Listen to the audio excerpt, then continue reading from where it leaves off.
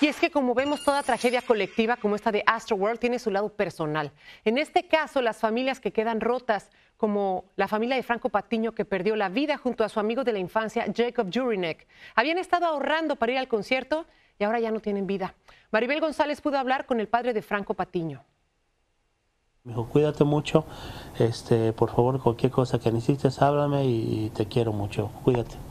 Y fue todo lo que le dije. ¿Esta fue la última vez que habló con él? Fue la última vez que hablé con él. Julio César Patiño cuenta que había hablado con su hijo Franco Patiño y pocas horas después recibió otra llamada que le cambiaría la vida para siempre. Me habla mi esposa llorando y me dice, Julio, Julio, que Franco se murió, que Franco se murió. Le digo, ¿cómo es posible? Los médicos le habían notificado que su hijo Franco Patiño había fallecido. Me dice por un paro cardíaco. Franco Patiño y Jacob Jurinek son dos de las ocho personas que murieron tras una estampida ocurrida este pasado viernes en un festival de música en Houston. Según Patiño, los jóvenes de 21 y 20 años de Naperville eran amigos desde la niñez y habían ahorrado dinero durante más de un año para poder asistir al concierto. Me imagino a mi hijo Jacob, como si Jacob es una persona alta de seis pies, mi hijo está chaparrito pero estaba muy fuerte estaba ayudando a gente que se estaba cayendo para poderlas ayudar.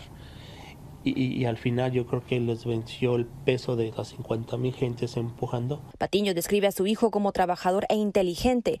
Franco estaba estudiando para ser ingeniero. Quiero que recuerden a mi Franco como una persona alegre, positiva, que siempre estaba dispuesto a ayudar a la gente muy orgulloso de ser latino. Mientras tanto, familiares de Jacob, un joven que estudiaba periodismo y publicidad en la Universidad de Southern Illinois en Carbondale, también lo recuerdan con cariño y tristeza.